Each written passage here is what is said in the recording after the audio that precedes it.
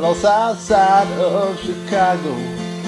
It is the baddest part of town. And if you go down there, you better just beware of a man named Leroy Brown. Well, Leroy, more than trouble.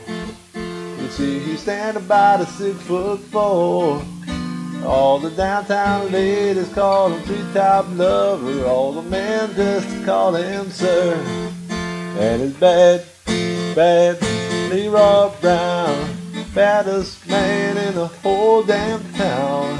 Badder than old King Kong. Meaner than a junkyard dog. Well, Leroy, he's a gambler. And he likes his fancy clothes. And he liked to wave his diamond ring in front of everybody's nose. You got a custom a continental. You got a Eldorado too. You got a 32 gun in his pocket for fun. He got a razor in his shoe. And he's bad, bad, Leroy Brown. Baddest man in the whole damn town. Badder than old King Kong. Meaner than a junkyard dog.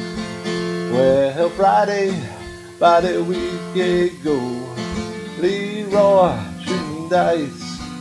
And at the edge of the bar sat a girl named Doris, and uh, ooh, that girl looked nice.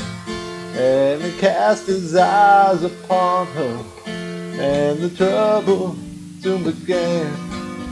And Leroy Brown learned a lesson about messing with the wife of a jealous man.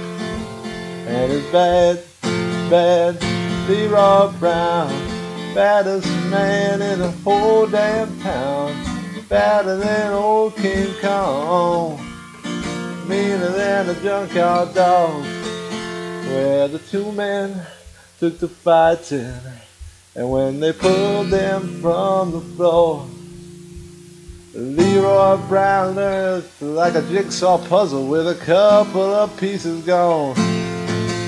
And it's bad, bad, Leroy Brown, baddest man in the whole damn town, badder than old King Kong, meaner than a junkyard dog. And he's bad, bad, Leroy Brown, baddest man in the whole damn town, badder than old King Kong, meaner than a junkyard dog.